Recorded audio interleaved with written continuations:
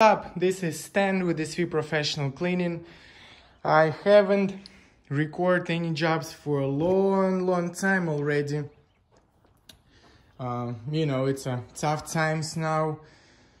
This virus breakout we're all fighting through these difficulties. Uh, still working. It's not as busy as it uh, supposed to be. A lot of people they scared you know don't want to let anybody in their houses but still we do cleaning. Uh, most of our business right now from um, move in move outs because those people they have to you know they have to move move in or move out and they have to clean their carpets. So that's most of our business now as i mentioned. Still do some occupied houses but that's mostly for the repeat customers. And of course i have my uh, gloves this is an empty house I do not wear my mask now, but I do have all those masks as well. I have a hand sanitizers on me. This is my beautiful van, if you remember. How does it look? All yellow and shiny and uh, bright, lovely. But anyway, this video, uh, it's not really about carpet cleaning. Um, it's kind of bigger project. There's total of seven areas and carpet is pretty bad and dirty. I'm not gonna record cleaning of all that because honestly carpet needs to be replaced. Um, and I'm vacuuming it and it's just so crunchy. This is actually the very last room and I just I was keep thinking about it that I need to record that and just need to do a, a separate uh, video, a block of, of vacuuming it's just so crunchy guys. So whoever loves crunchy carpets crunchy vacuum here we go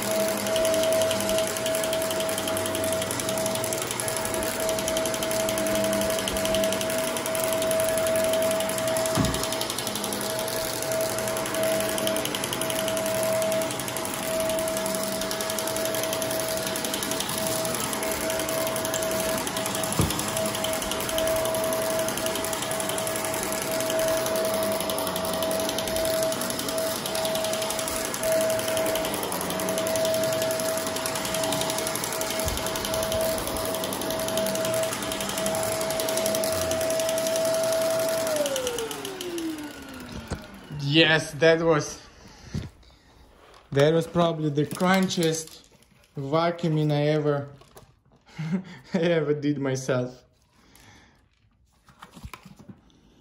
And uh, as I mentioned, I already vacuum this room, vacuum it a few times,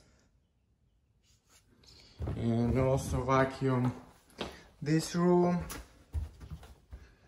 And as you see, I did that's that's how I was vacuuming. So I did few few times around the same as I was just vacuuming the room, a couple times over because I mean it just it just needs it and i'm pretty sure that the filter of my uh, on my truck mount still will be really dirty because i mean this carpet i'm pretty sure if i'm gonna go over vacuuming again one more time it still will be kind of crunchy that was dirty carpet. I mean it's still dirty. Didn't clean it yet. Yeah that's what i am doing today. And uh, thanks for watching. Sorry for not being um,